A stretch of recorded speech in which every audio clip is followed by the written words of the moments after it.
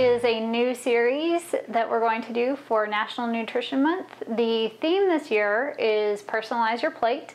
So we're going to do that by taking an international journey with dishes from around the world. So it's going to be a lot of fun trying different cuisines. And uh, to start off, we're going to start with a very easy and light um, meal I guess you would say. It can also serve as an appetizer.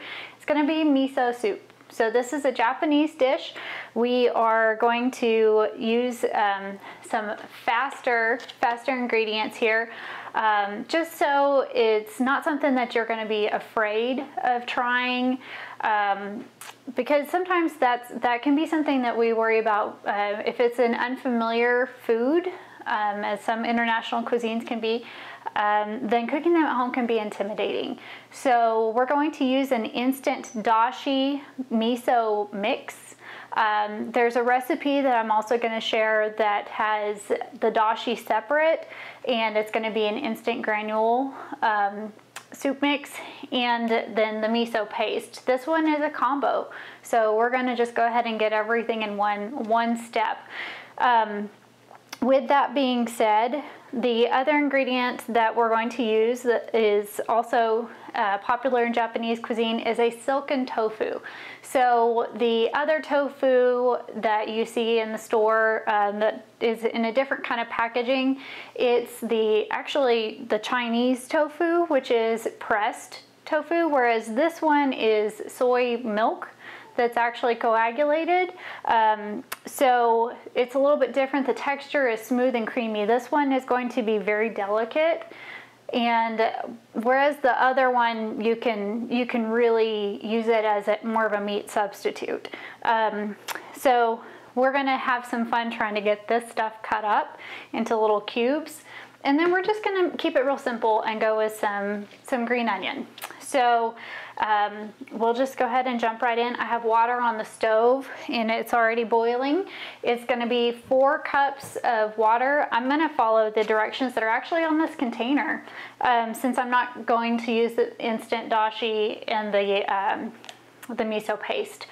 So with that being said, there's four cups of water boiling on the, the stove top and then we're gonna use four tablespoons or a quarter cup of our miso dashi paste mix. So, first of all, let's start by opening up our tofu and getting this cubed up.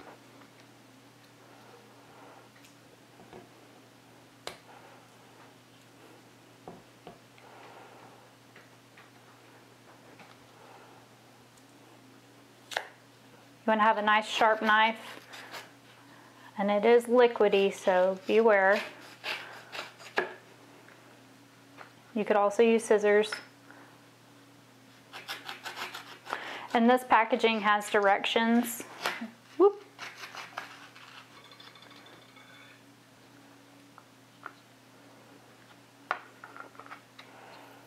So now that we've cut those corners off,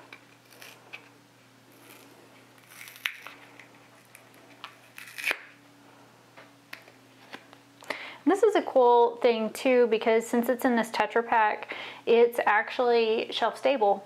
So you won't have to um, refrigerate it until you actually take it out of its container.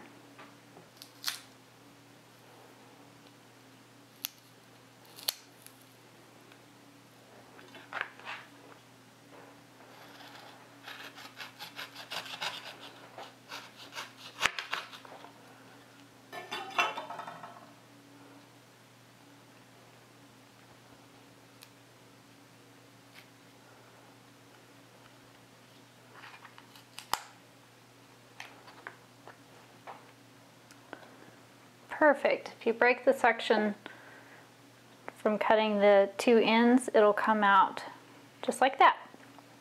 So it is soft. You can see some little bits flake off. But we'll go ahead and just give this just some nice cubing.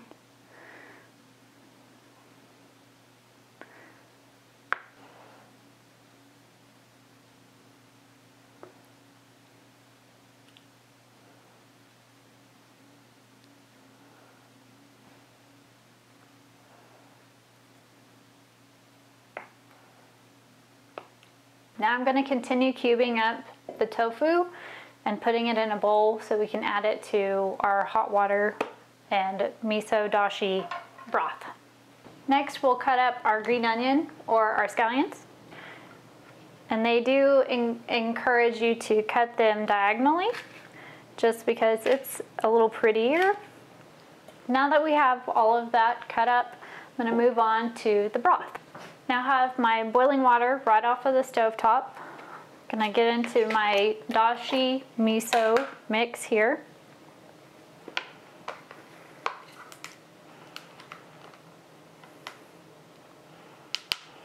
Now with miso, it comes in different color um, options, I guess you would say. They're, they're basically different strengths. If you want something that's more of a potent flavor, um, then you would want to go with a red. If you like a lighter flavor, then a white or yellow miso is going to be your preference. This one looks like it's more of a yellow. Kind of an in-between now, miso and dashi are both very salty. So that is one thing that you want to look at when you're selecting a product. So this, this particular one, the nutrition fact says for one teaspoon is about 12% of your daily sodium intake. So therefore we're doing four cups of water. It calls for four tablespoons or a quarter cup of our paste here. So that's uh, about 144% Okay, so a quarter a cup of our miso dashi paste mix. Remember this water is very hot, so be careful when you're adding it in so that you don't splash yourself like that. Sometimes things like that just happen.